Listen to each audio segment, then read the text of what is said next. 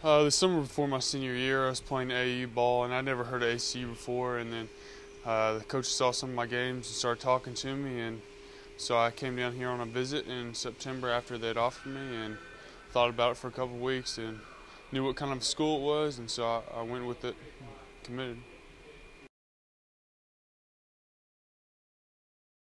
Well, personally, I just had a, a, bunch of fun. I'm sure everybody did. Uh, it helped us come together because. Not just playing the two games together, which you know helped us get over some uh, chemistry or chemistry problems, but I mean also helped us grow together as a team. Uh, just being able to have a good time down there and unique experience, of course. I think we're getting a, a good sense of uh, um, putting the uh, our common goal above our personal interests. I think uh, we're starting to get right now and uh, just have that sense of unity as we're as we get closer to the season starting. So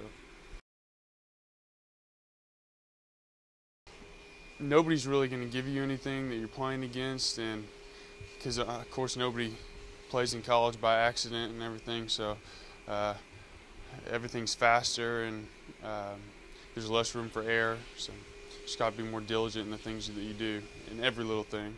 I like to think just anything that's required of me, whether that's rebounding, playing defense, scoring, cheering on teammates, or hustle plays, or anything that's required of me, whatever that may be in whatever particular instance. So. Do whatever's needed to be done in order to succeed. So um, even if that takes hard work, doing whatever needs to be done, um, being unselfish, uh, me playing playing a role that I wouldn't want to play a role if it if it helps our team succeed. Just putting other people before yourselves, I, I think, so, in order to win.